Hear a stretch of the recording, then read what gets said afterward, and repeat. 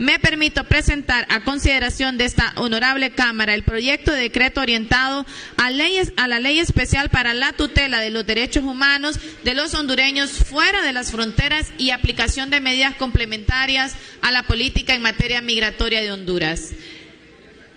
Considerando, considerando, considerando, considerando, considerando,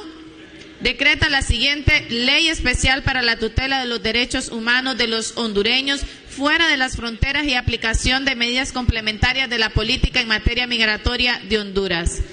Por economía parlamentaria voy a leer el condensado y el objetivo de la ley en el primer artículo. Artículo número uno, la presente ley tiene por objetivo dar seguimiento a la Convención Internacional sobre la protección de los derechos de todos los trabajadores migratorios y de sus familiares. De igual manera, facilitar la aplicación de las políticas, proyectos, programas migratorios, asegurando un enfoque de derechos humanos y la coordinación entre las instituciones en armonía con la política migratoria, definiendo de manera clara los roles de los órganos competentes en materia migratoria e